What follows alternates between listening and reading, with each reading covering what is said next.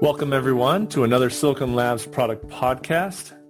This episode is focused on helping you better understand the thread mesh networking protocol that's been developed for IoT products.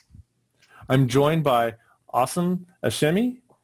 Uh, he's a design engineer at Silicon Labs, and he is absolutely one of our most prolific technology writers. So you may have seen some things that he's posted on our site or read one of his app notes. Uh, so I'm really uh, thankful that he's here. I recently attended a training that Asim provided on Thread, and that's sort of what brought me to, to ask you to join me today. So thanks for joining the podcast, and I'm sure that our listeners are going to learn a lot from this conversation. Thanks, Kyle. I'm really excited to be here. And uh, we are also very lucky to have David Meixner join our conversation. Uh, David, you are the IoT product manager for our Zigbee and Thread solutions. So with the two of you here, I think we're ready to start discussing Thread. Are you guys ready? Yeah. Yeah. Let's do it. All right. Well, I'll to start. I thought you did a great job explaining one of the core benefits of Thread, and that is it's based on IP. I think it, this is critical for our listeners to understand. Can you give your findings on what benefits IP provides these end products? Yeah, totally. I mean, um, to start with, Thread is an IP-based low-power mesh networking protocol, which means that it brings IP, which is pretty much the backbone of the internet, to the smart home devices. And, and what that means is that you've, with Thread, you've got the, the, all the power of the internet connected to your smart home cameras and uh, locks and lights. And, and, and this seamless connectivity is, is really powerful, first of all, because it's IP. There is no need uh, for translators or mapping between a thread network and the internet which takes away, takes away a lot of uh, development cost and complexity and also simplifies the, the consumer experience. Another advantage of being IP-based is the reuse of all the open standards that have been developed and used on the internet for decades on your thread network or your smart home uh, network. And this becomes really powerful when we consider the, the thread security because when we say thread is IP-based, that means that thread has the potential to offer you the same security standards and protocols that you use for your credit card transactions on uh, your smart lock, your smart uh, door, your smart camera, which is a remarkable feature when we think from, from the consumer's perspective, because now we're taking security to the point of trust. Thread offers technologies that are already mature and that people already trust, which can accelerate the adoption of IoT in the home and the building. Another another thing just on that topic is when we're trying to get so many companies together working in a, a place like your home, uh, having that common IP, uh, you know, history and all that infrastructure already in place, it makes it a lot easier for them all to jump into this marketplace. That's exactly true, and that's why Thread has been attracting uh, so many of the IoT convergence initiatives, and they have prioritized Thread as one of their uh, or pushed forward Thread as one of their uh, main implementations since since it, it, it's built on IP that uh, sort of glue that connects the whole the, the, the, internet together. And to that point, also, I think another, one of the other advantages of Thread being IP based is the freedom that developers have in choosing the application layer, right? Because now Thread treats all the application layer transactions as IP traffic. You can pretty much have any application layer that is IP based on top of that, which simplifies the developer experience greatly. And you'd mentioned in your your training that, that that allows different types of applications to focus on what they're good at, but not have to reinvent a network or join a network that they're not common with. So they, they have that common network which takes care of all that networking and interconnect, and they can just focus on the application that makes sense for their appliance or their product.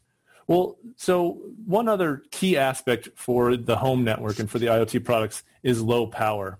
Uh, can you share a couple uh, reasons or, or things that Thread has put into its uh, specification that helps these low-end devices or you know low power end devices? Uh, so yeah, this is a great this is a great point. Thread is first of all based off the 15.4 radio, which is the same radio for Zigbee. It's uh, a trusted, mature technology. We already know that it's it has a good performance at low power. And on top of that, Thread does all its routing in 6LoWPAN, which is pretty much a simplified version of IPv6 for low power devices. And that's how Thread can extend the reach of IP to low power constrained devices. Okay, well, hey, anything that they can do to reduce the amount of batteries I have to replace out of these end devices, that's that's perfect. So I'm, I'm glad they got some of those core things built into it for low power. So David, not to give Asim all the, the time on the, the podcast, the question I'd like to ask you is all the growing interest that I've seen lately. Uh, there's a lot of deployment and a lot of uh, news articles about Thread and how it's being introduced. Just recently, you know, I have an Eero mesh system in my house and it supports Thread. We've just recently saw that Apple's new uh, HomePod, the Mini, includes Thread as uh, its networking capabilities. So can you share, there's been a lot of groups and a lot of announcements lately on Thread. Can you talk a little bit about that? Yeah, sure. And uh, just to add to that list, just yesterday, Nanoleaf also announced their next generation of lighting products. Uh, and those are also going to have support for Thread. So I think we're definitely seeing an uptick in Thread in the market, and we're seeing a lot of momentum behind it. Um, so this might be kind of the time it finally starts to take off. Um, and then, you know, specifically some of the groups behind Thread, the most prominent one right now is probably Project Connected Home over IP. So this is a working group that's part of the Zigbee Alliance. Um, and what they're trying to do is create a unifying application layer for smart home devices that can run on top of any IP technology. So Thread is one of those IP technologies, but this will also work with things like Wi-Fi or cellular. And it's really the goal there is to simplify the development, but also make it easier for the consumer to use. And there's a lot of big players in the industry that are driving this effort, including Apple, Amazon, Google. They really, they really see right now that the smart home is fragmented. It's confusing to the consumer. It's difficult for the developer, right? You have to develop separate products for HomeKit, a separate product to work with Google, a separate product to work with Alexa. And Project Chip is really going to make that a lot simpler so that you only have to develop one Project Chip device, uh, and then it'll work with all of these ecosystems that also support Chip as Asim was mentioning, you know, Thread is the low power IP technology that Chip is targeting. So for things that are battery powered, door sensors, window sensors, um, door locks, uh, you know, this is going to be a very, very powerful uh, way to increase adoption in the smart home. And then also, so that's primarily targeted at the smart home. Also on the commercial building side, there's a new liaison called IP Bliss, which is short for IP Building and Lighting Standard. And they have similar goals in the commercial building space to make it simpler to integrate all of these um, IoT devices into the building.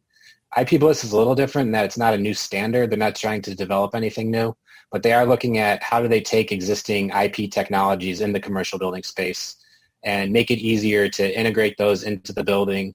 Um, and again, these will all be based on IP so that you know IT administrators can can work with these technologies, right? They already know how to manage an IP network. So if all of their IoT products are based on IP, it's going to be a lot easier to integrate these into the, the commercial building space as well. That, that's great because there's one thing I think will really escalate the adoption of the smart home, and that is when people can buy something based upon the need or the value of the product and not be required to say, does that fit my ecosystem? Does that fit into you know what I can connect with? It's it's based on need, and so I think that's going to be great when uh, multiple vendors can deploy something that fits, you know, a single network. That'll, that'll be great. So my, my last question, just to wrap this up, this has been really great, but you know now our customers are interested. You've done a great job explaining this to our listeners. What, how can they get started? What does Silicon Labs have to offer as far as Thread? Uh, people interested in getting started with Thread. Yeah, great question. Um, so we support OpenThread on pretty much all of our EFR32MG series of devices. Um, so OpenThread is the implementation of the Thread spec that was initially released by Google. Um, this is really being adopted widely by the industry. Um, and there's a couple ways that you can get started with OpenThread. So we do have support for it through GitHub. Um, so some customers really, really enjoy the GitHub experience. They like to go and grab the latest bleeding edge code, um, and you can download OpenThread and get started that way. Uh, but we've also taken that and we've integrated it into our GSDK. And this has made it a lot simpler for developers to develop an open thread application on EFR32. It allows you to pull it into Simplicity Studio. You get to take advantage of all of the tools, the, you know, the tutorials that walk you through how to build a sample application, um, how to configure the device with the GUIs that Studio provides, how to use things like Network Analyzer and Energy Profiler. And we've already gotten a lot of feedback from customers that they really like how, how easy it has been to develop a thread application because it's now integrated into uh, Simplicity Studio through the GSDK. So we have both of those routes, either through GitHub or through Studio, depending on kind of the developer preference. but yeah, so that's that's support that exists today. We're going to continue to develop that. You know, in our next release at the end of the year, we'll keep adding features to that. And then eventually this is what, you know, again, we'll have support for project chip through. Again, going back to kind of specific devices, Thread does have larger memory requirements in terms of flash and RAM. Uh, so if you're developing something like a project chip on top of OpenThread, we probably recommend some of the larger EFR parts like EFR 32MG12 or the MG21. But again, all, all of that is supported through through GitHub and the GSDK. All right, great. And another thing that you mentioned, Assem, was the training that was done at the Works With.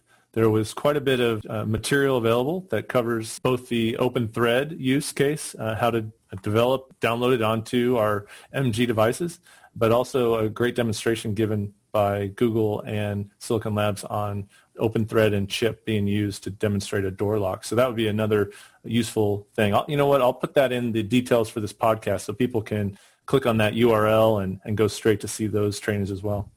Well, guys, that's uh, all the time we have for this episode. I'd like to thank both of you, Assem and, and David. Thanks for taking the time today. Thank you. Thank you, Kyle.